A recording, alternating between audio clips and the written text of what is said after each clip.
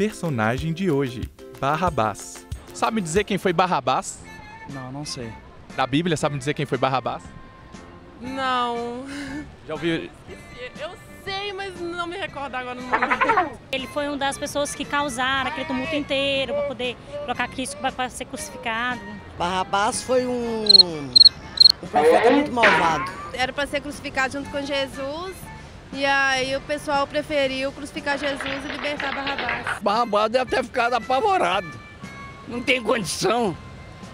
Um bandido, um salteador, criminoso, não é verdade? Barrabás foi o preso que a multidão preferiu soltar ao invés de Jesus. Barrabás foi o ladrão que foi liberto no lugar de Jesus quando Herodes mandou escolher. Foi que liberou Barrabás e deixou Jesus ser crucificado. Injustiça tremenda, né? Que naquela época os fariseus, os fariseus que culpados de tudo, porque sabiam que Jesus era filho de Deus. Hoje nós vamos falar sobre um personagem que é citado especificamente na morte de Jesus. O nome dele, Barrabás. É, nome forte, né? Você deve até imaginar. Eu, pelo menos, quando eu imagino Barrabás, eu penso um cara é, chato, barbudo. Eu não sei em que, que você pensa. Mas você conhece alguém chamado Barrabás? Se você não conhece, nem eu, porque ninguém é doido de colocar o nome Barrabás no filho. Mesmo porque a história de Barrabás ela é contada a partir do momento em que Pôncio Pilatos, que era o governador da Judéia, né, do, do Império Romano, ele é, é trazido diante dele a pessoa de Jesus para ser julgado pelos principais líderes judaicos. E naquele momento ele apresenta, como era de costume, alguém que pudesse ser é, absolvido durante a festa da Páscoa. E ele apresenta Barrabás. Barrabás é uma pessoa muito interessante porque ele fazia parte é, de um grupo chamado Zelotes e eles procuravam sempre uma forma de se revoltar contra o Império Romano. Eles não aceitavam o jugo romano sobre eles.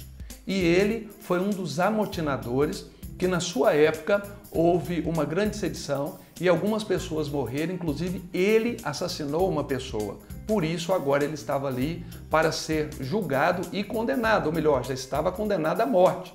Naquele momento, ele já estava condenado à morte.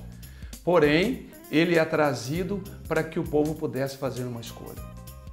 O nome dele, Bar, significa filho. Abas significa pai.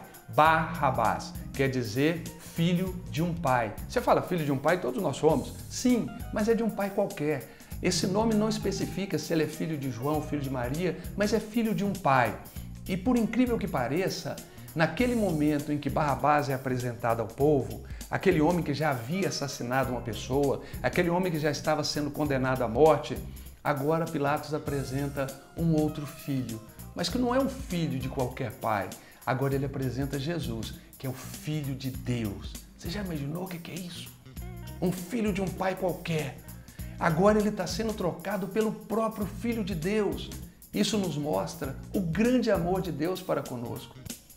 Na nossa vida, muitas vezes, nós fazemos alguns, alguns problemas, nós temos alguns problemas como Barrabás, né? mas não podemos nos esquecer que o Filho de Deus está sempre disposto a nos perdoar.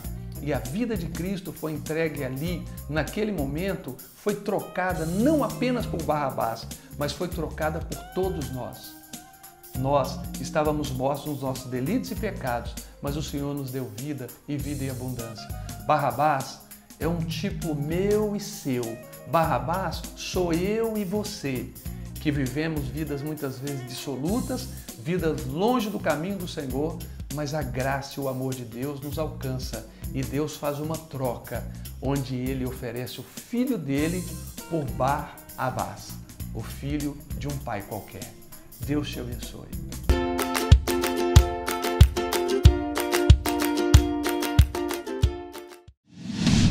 Receber todas as novidades do canal, inscreva-se e se curtir o vídeo, clique em gostei. Aproveite para acompanhar a Rede Super nas redes sociais.